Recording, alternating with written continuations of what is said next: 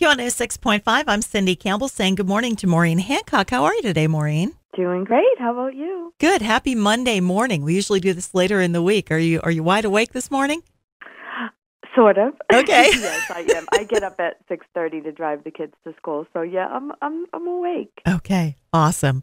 Uh, Maureen, we have uh, Judy with us. Before we talk to Judy, I just want to invite people to get their tickets. Your show is coming up on Thursday, so time is running out. Wow, I cannot wait. Yeah, it's and it's a very uplifting kind of an event. It's not sad. It's um it's a celebration of life and memories.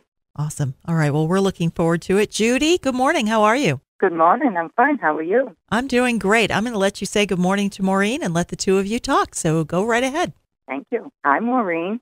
Hello, how are you? I'm very well. Thank you. Well, I should already know that, right? That's what people Yes. say to me. So you have quite a bit of uh, spirits on the other side, and in a moment, I'm going to ask you who you're hoping for. I know there's a a few already kind of gathering, and there's a very strong man waiting to connect with you, uh, which I see like to the side of you. Um, and mom is past you. yes. Okay, she's here too.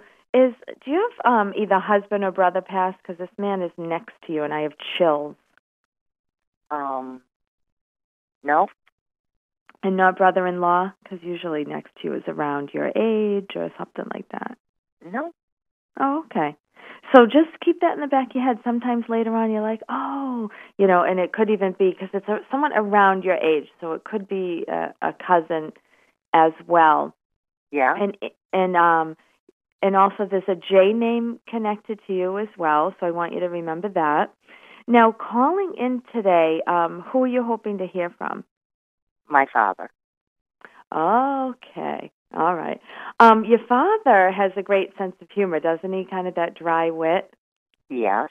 I'm smiling because he, you know, he's doing the like, really, we're going to talk to me on the radio. So just kind of like under the breath. Um, but your mom is there too. I want you to know, and it's been a long time for her passing. Uh. No. She, she hasn't passed. Oh shoot! Oh, there's a woman there. Did you have mother-in-law pass? Uh. My mother-in-law. Yes. Oh yeah. So I won't get in-law or step or ex attachments. That's why even a brother-in-law can come through. But this woman kind of won't get out of the way. I also want you to remember the name either Elizabeth or Betty is significant because I'm hearing that. Um, so sometimes we hang up and you're like, oh, you know, that's the old neighbor or, or that kind of thing.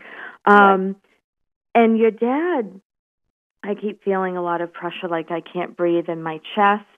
Um, but he keeps a lot to himself, so never mind. I'm fine. I'm fine. Um, did he uh, have oxygen or something pressing the chest? Uh. He had a massive heart attack.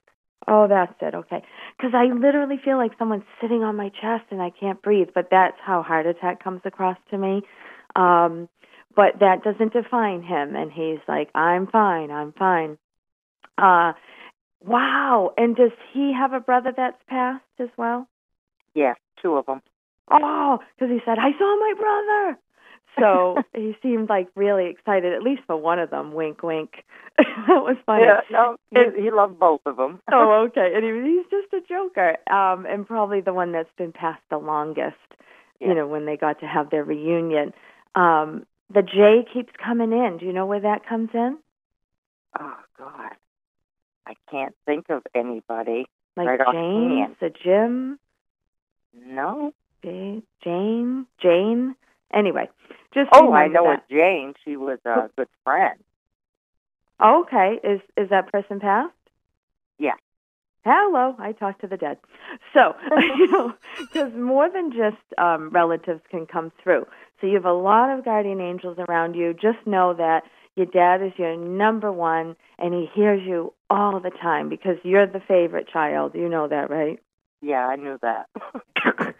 Lots of love from the heavens above. Thank you. Judy, how was that for you? that was great. Awesome. Your dad's with his brothers. That must make you feel good. Oh yeah, yeah. Thanks so much for joining us. Thank you. Maureen, folks need to get their tickets because that was amazing, and you're going to be doing that Thursday evening live. Oh yeah, it's a million times more powerful in person. Over the phone, it's like one eight hundred dial a dead real fast. So when I can let it breathe and bring some lighthearted humor, it's it's really a unique experience. Oh, well, great. We can't wait to see you. Folks can get more information and their tickets on our website, q1065.fm.